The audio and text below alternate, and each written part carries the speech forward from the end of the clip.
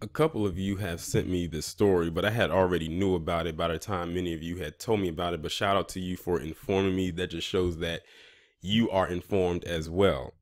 So in this image, you see a man by the name of Curtis Flowers, and he has been in prison for quite some time now. As a matter of fact, this man has been in prison for so long that he has had the conviction that uh, was put on him of murder overturned six times.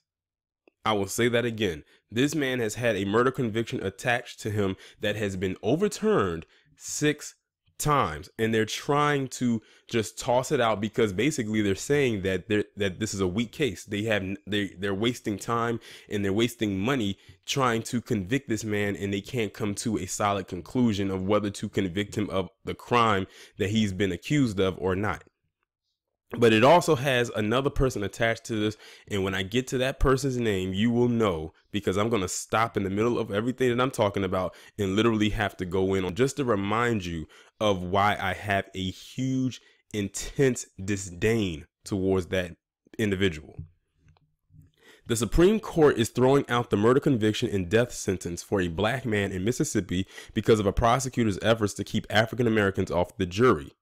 The defendant has already been tried six times and now could face a seventh trial. For what? That's my question. For what? It's obvious that they cannot come to a conclusion. And they're practicing practicing racial bias, which doesn't surprise me. I mean, look at where it's happening at Mississippi. And a lot of people try to say that black people don't go to jury duty and everything like that. Black people do go, but they do some underhanded stuff when it comes to certain cases. This is another another common example of them trying to throw a black man under the bus just to say that they threw a black man in jail. And it's in Mississippi, so it doesn't surprise me. The court's 7 to 2 decision Friday says the removal of black prospective jurors violated the rights of inmate Curtis Flowers. Justice Brett Kavanaugh wrote the court's majority opinion. Justices Clarence Thomas and Neil Gorsuch dissented. Now, I've I've read the name of the person. I'm not worried right now about Neil Gorsuch. I already know he's a POS. If y'all don't know what that means, it means piece of shit. But I have to talk about the main one right there, and that's Clarence Thomas. Many of you have heard on my channel before saying that I do not like Clarence Thomas. I never have. Now, I was very young when the whole Anita Hill thing went down back in the early 90s. I was very young, so I couldn't really remember it, but I had to hear about it through stories and various coverage years later. But I was old enough to remember the act of treason that this man committed against a one Troy Davis back in 2011. I was old enough to remember that. And I was 22 at the time. Just graduated from college. If y'all don't know the story of Troy Davis, he was a black man who was accused of murder back in the late 80s and was sitting on death row when they said that he was found guilty. And he was basically sitting on death row, uh, waiting to uh, face his fate. Sorry about that. Had a little um, disruption. But all they needed to do was vote to get this man off because DNA had exonerated him. He they pretty much had no evidence to say that he actually did it. They or they found something to clear his name. All they needed to do was have a decision come from the Supreme Court. That means Clarence Thomas included to overturn the conviction. They had everyone on the side to say that he was going to be able to be released and walk out of the jail that night. Except for two votes. Anthony Scalia and Clarence Thomas. Anthony Scalia, as you already know, is dead. Thank God. And Clarence Thomas used to hang off of Anthony Anthony Scalia like how uh, David Clarke hangs off of Donald Trump. It it was like it was that kind of relationship. It's because of those two votes that Troy Davis ended up getting a lethal injection and he's dead now for a crime he did not commit and they knew he didn't do it. They knew it. That is the main reason as to why I hate Clarence Thomas and I never say that I hate anyone. It, I hate I I hate Clarence Thomas just as much as about as I hate many of these palm colored races out here. At least I know what they're on. But Clarence Thomas, he's doing it again. This man has an intense, immac- immaculate amount of hatred for black people, especially black men. I don't know what is it uh, uh, with you, Clarence Thomas. Is it because that the men that you said that you're going to try to put to death or put in jail are better men than you are, even behind bars? He couldn't. He. I can't even call Clarence Thomas a man, and that is why, or one of the many reasons why Clarence Thomas disgusts me, and I hate that man. I really do. His his wake up call cannot come fast enough. He is the original King Coon. Even more, well, I can't even say more so than David Clarke because people have died under his watch. But see, Clarence Thomas actually knows these people are innocent and he still wants to put them to death anyway.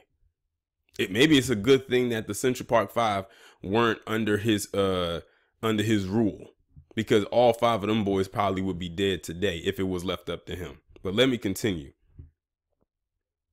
In Flowers' sixth trial, the jury was made up of 11 whites and one African American. District Attorney Doug Evans struck five black prospective jurors. That's no coincidence. And they'll still say that's diversity. In the earlier trials, three convictions were tossed out, including one when the prosecutor improperly excluded African Americans from the jury. And see, now that backfired on him. He thought that by doing that, that it was going to go in the way where white people was going to just automatically find him guilty, and that one black juror, if they had a heart, was not going to be the one, and they would have probably said overrule or try to find a way to overrule him. But as you can see, it didn't work. So basically, what it's telling me is in the original uh times that they did it, it probably was more black people on the jury, but they said that they were probably having an issue with them. So let's just get it down to one and maybe it'll work then. But as you can see, by trial number six, it still didn't work. But now they want to go for a seventh one. And see, they don't want to make it look too obvious by having a completely all white jury, but trust and believe if they could, they would. In the second trial, the judge chided Evans for striking a juror based on race. The two other two other trials ended when jurors couldn't reach unanimous verdicts. The numbers speak loudly, Kavanaugh said in a room, said in a summary of his opinion that he read in the courtroom, noting that Evans had removed 41 of the 42 prospective black jurors over the trials. We cannot ignore that history. In dissent, Thomas called Kavanaugh's opinion manifestly incorrect and wrote that Flowers presented no evidence whatsoever of purposeful race discrimination. Of course, he would think that. In the course of selecting a jury, lawyers can excuse a juror merely because of a suspicion that a particular person would vote against their client. Those are called perpim- sorry, peremptory strikes, and they have been the focus of the complaints about discrimination. The Supreme Court's decision in Batson versus Kentucky in 1986 set up a system by which trial judges evaluate claims of discrimination in the race neutral explanations by prosecutors. Flowers has been in jail more than 22 years since his arrest after four people were found shot to death in a furniture store in Winona, Mississippi in July 1996. I'm telling you, they want this man convicted by any means necessary and he most likely did not do it. If they if it took took them seven, I mean six trials, and they're about to start a seventh one, and he's been in jail since 1996, and they still can't get nothing on him, then why even bother still to keep going? They just want to pin it on a black man who's most likely innocent. Like I would be stressed out if I was him. I'm not even gonna lie, he probably more comfortable just being in his cell than having to have to go back and forth, back and forth, back and forth between the prison and that courtroom. Six times, and possibly most likely a seventh. They just need to toss this one, but they don't want to do that because they don't want to make it seem like they got the wrong person, which to me sounds like they did. And they're doing this and they're putting pressure on those jurors to say he's guilty just so they can stop doing this, or they'll, you know, to uh, say, well, if they say he's guilty, then we can just all go home. But as you can see, six trials later, and it's still not working. And nothing that that races whoever that prosecutor by pulling and ejecting those black judges, that's not working either. So they just need to go ahead and drop the case altogether. But I meant what I said about uh, Clarence Thomas.